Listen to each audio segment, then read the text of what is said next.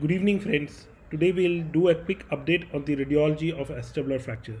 I'm your friend Vaibhav. And in today's talk we'll look about what are the x-rays that are done for this condition, the special views, what are the landmarks that we should know, what are the typical fracture patterns, how to identify them on the CT scan, and we'll also touch upon a new technique of 3D graphy or 3D printed models and jigs for these fractures. Before we start, it's important to understand the anatomy.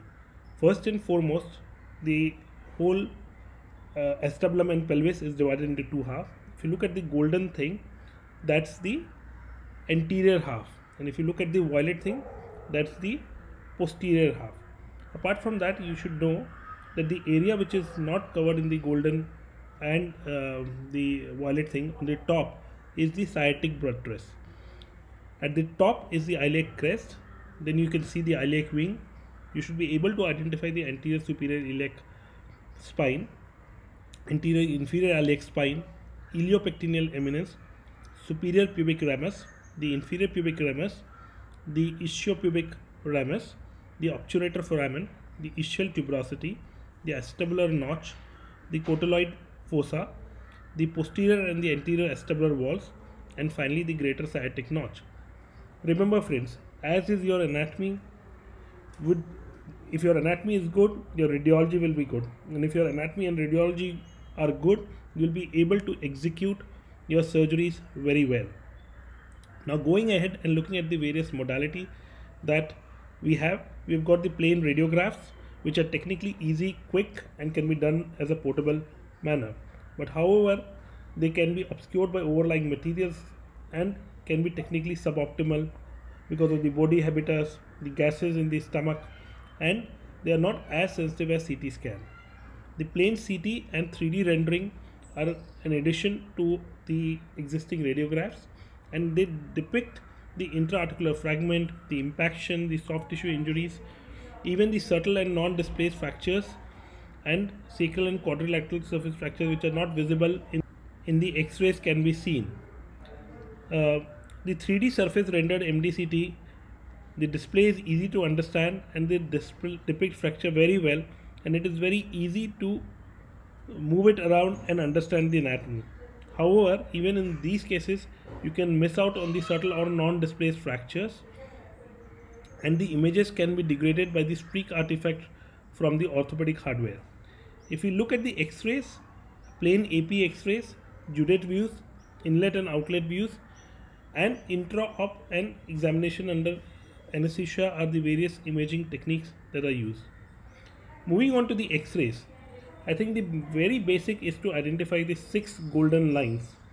The first is the iliopectineal line, the second is the ilioischial line, the third is the teardrop, the fourth you should also be able to identify the radiographic roof, the anterior and the posterior rim. So if you look at this X-ray, this line here is the iliopectineal line. You've got the ilioischial line.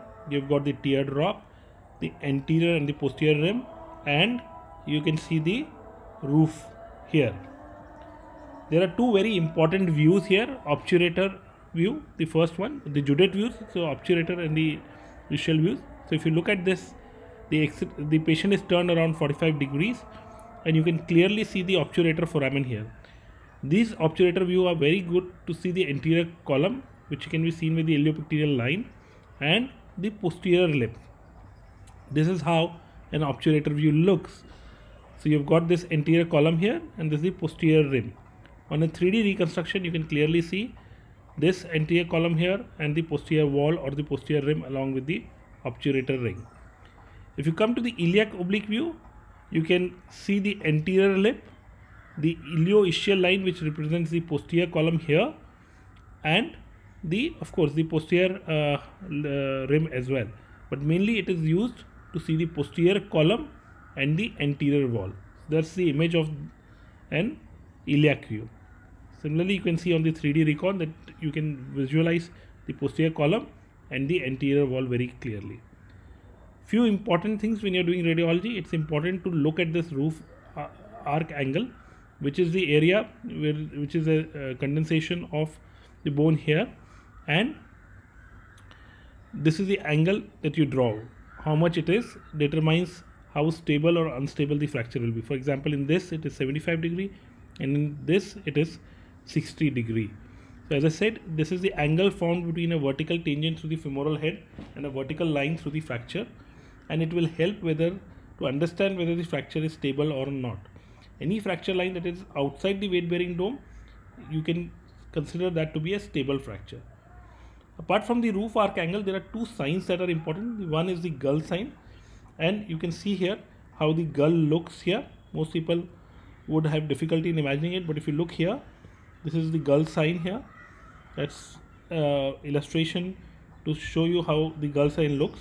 And it represents the impaction of the superior medial roof it is typically seen on the iliac oblique view and it is pathognomic of the posterior wall fractures.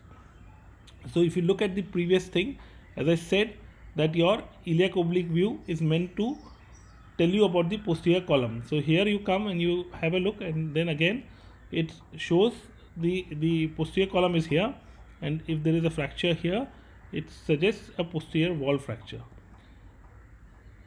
The next important sign is the spur sign and it represents the most caudal part of the intact ilium due to medialization of the acetabular component. It is seen on the obturator view. In contrast to the iliac view uh, where the gull sign is seen, this is seen in the obturator view and it is pathognomic of associated both column fracture. So if you look here, there's a classical spur sign here and it is seen in the associate both column fracture. Now as you proceed, it is important to uh, know about the classification system and Letournel gave the basic classification for this thing and divided into two parts. First one is called as elementary and the second were associated fracture which had more than two elementary forms. So the elementary fracture patterns are posterior wall, posterior column, anterior wall, anterior column and transverse. Whereas an associate fracture could be T-shaped, posterior column and wall, transverse plus posterior fracture, anterior column or wall with hemi-transverse and both column fractures. So here we look at the images of this. The first one you can see is the posterior wall fracture. The second you can see the posterior column. The third one is the anterior wall fracture. This is the anterior column and this is the transverse fracture. Now, so, so if you look at this, it completes all the uh, elementary types of fracture. Now we move on to the more complex ones.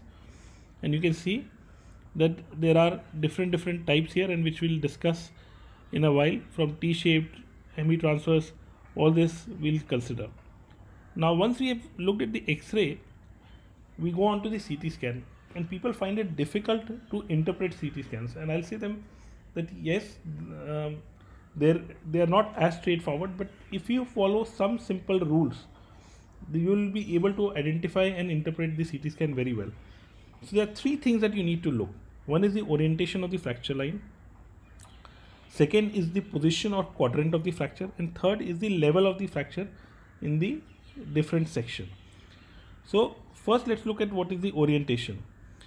So an oblique orientation of the fracture line indicates there is a wall fracture. Whereas a horizontal fracture line suggests that it's a column fracture. Whereas a vertical um, fracture line will suggest a transverse fracture. So oblique is wall, horizontal means column and a vertical line means a transverse fracture or you may have a combination of these. So when for example if you have oblique fracture line as I said uh, uh, horizontal and oblique then that means that there is a combination of two type of fracture. Now once you have done this exercise of identifying the fracture line and the type of fracture line, you go on to the quadrant. So you identified whether it is anterior or posterior and whether it is uh, whether it is towards the wall or to the column. So if you see A and B line, so A, anything anterior to A is anterior, anything posterior to A is posterior. Similarly, anything me, uh, lateral to B is wall whereas anything medial to B is column. So again it's a simple way of looking at of course not all fractures will be very simplified but at least this gives you an idea Key if there are things which are lateral, you think more in terms of wall. More medial, you think in terms of column. Anterior, you think of anterior, and posterior is posterior. Again, the levels, different level as you move, you must identify how the shape varies in the actual thing, and then that can help uh, distinguish uh, where the fracture lines are. So, if you look at this CT, you can see that at different level you can see the different shape of the acetabulum and you must be able to identify where we are. Of course 3D reconstruction has made life much easier and it kind of gives you a real life picture the different type of uh, reconstruction that you have. So let's look at each type. So this is a typical posterior wall and you can see on the plain AP X-ray that there is a posterior wall disruption.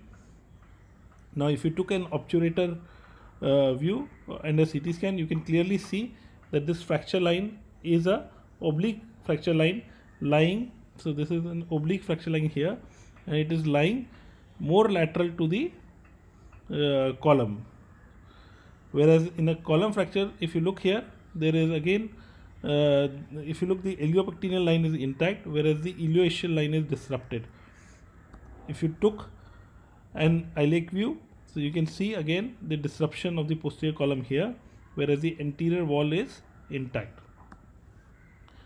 As I said you see instead of this oblique line you have got more horizontal line here and it is definitely more towards or exiting on the medial side clearly indicating that the column is gone.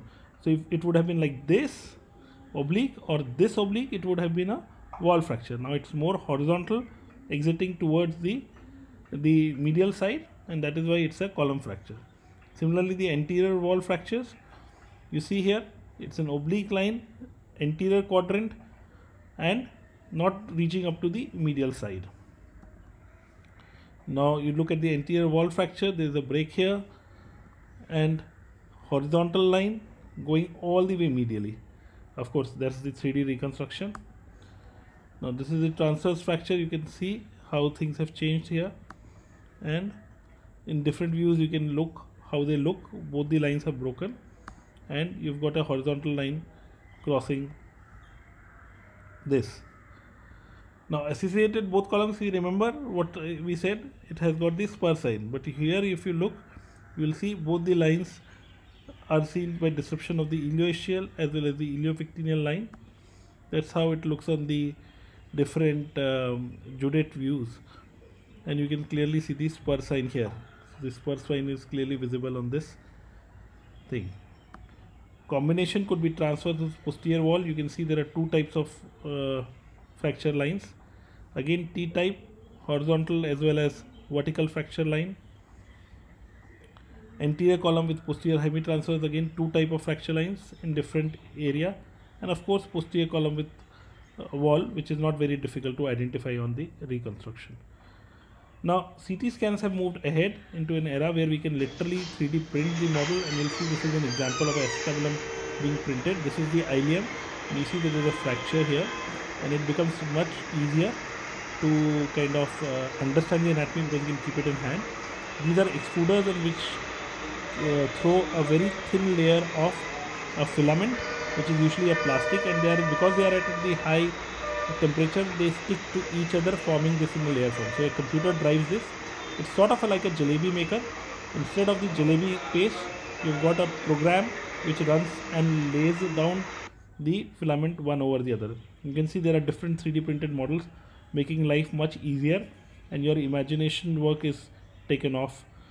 These are all 3D printed model of different type of fractures and you can see that you can hold it in your hand and uh, kind of rotate and see what's happening where the fracture line is what is the thickness of the walls and you can actually template on this making life much easier. You can see how I'm so in this case I had got both the uh, thing printed the normal side as well as the uh, the opposite side because you want to recreate the normal anatomy. This is the this is uh, the uh, opposite side.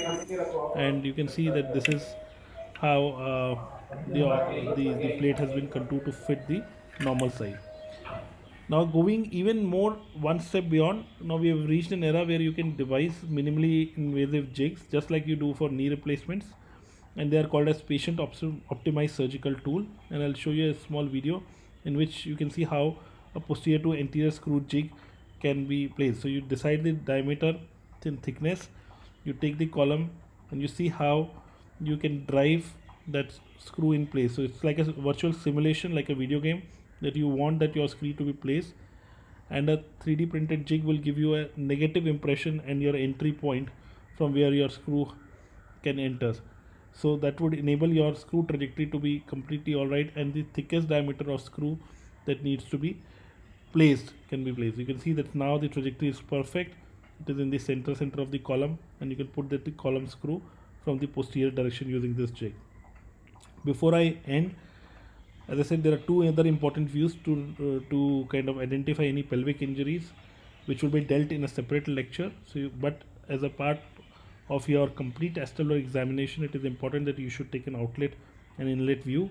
And also when you are doing an image intensifier while your position when once your position patient is positioned it's important to do an examination under anesthesia to see for any loose bodies or the medial opening of the joint.